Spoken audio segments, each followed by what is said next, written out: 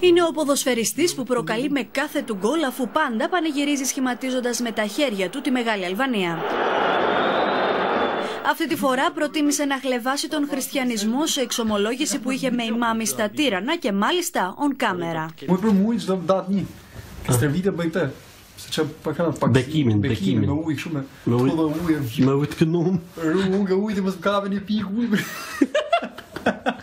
Η ηρωνία από τον Αλβανό ποδοσφαιριστή του Πας Γιάννηνα δεν σταματά εδώ. Σειρά πήρε ο χλεβασμός κατά του Μητροπολίτη Ιωαννίνων. Pse i të dorën për këtë kështu? a? Na, fare Po, do kështu. për ju po tha, gjithë. Erdhi dorin pa mu, i tha trajneri, ky thash Albanos, nga Albania. Dhe ja kam dorën vat. Si ke qenë, ai e mirë gjatë o po vuna fëlliqe. Μάλιστα δεν δίστασε να αφήσει εχμές για τους ιερείς στην Ελλάδα.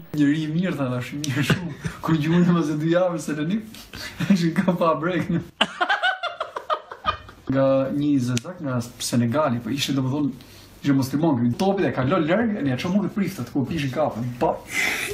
Ishe 20 prit gjithë me zezat i ulët. Satana!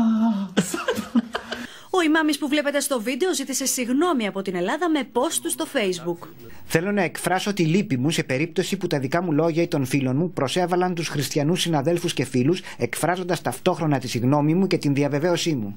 Το θέμα φυσικά έχει πάρει διαστάσεις και στην Αλβανία. Δημοσιεύματα κάνουν λόγο για βίντεο σκάνδαλο με ρεσιτάλμης αλλοδοξίας από τον πεδοσφαιριστή, ενώ ο Αλβανός Πρωθυπουργός προτίμησε να απαντήσει σε αυτά με μια ανάρτηση που δείχνει τον Αντιλίλα για άλλη μια φορά να σχηματίζει τον αλβανικό αετό. Η Μητρόπολη Ιωαννίνων δεν θέλησε να κάνει κανένα σχόλιο, ενώ η ομάδα Πας Γιάννηνα δεν έχει αναφερθεί ακόμη στο θέμα.